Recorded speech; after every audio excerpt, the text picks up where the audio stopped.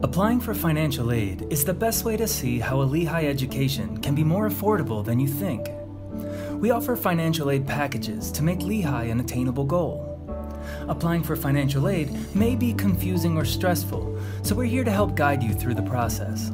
The first thing you'll need to do is complete the free application for Federal Student Aid, or FAFSA, which can be completed at fafsa.gov.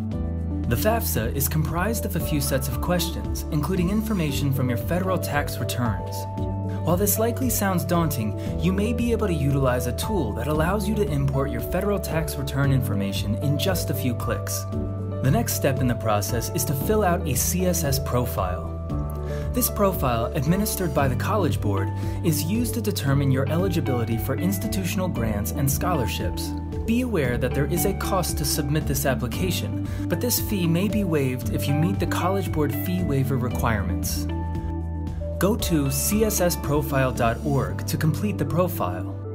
The questions are similar to the FAFSA. And while there is no ability to import your federal tax information, don't worry. Your assigned Lehigh Financial Aid Counselor will review the application for accuracy. You will also need to forward copies of your federal tax returns to the Lehigh Office of Financial Aid by the deadline listed on our website. And be sure to check your Lehigh portal for important communications related to your financial aid application. Financial aid applications are time sensitive, so be sure to keep track of approaching deadlines at lehigh.edu/slash financial aid. Here you will also find additional financial aid resources. We hope that this helped to clarify the application for financial aid process at Lehigh University.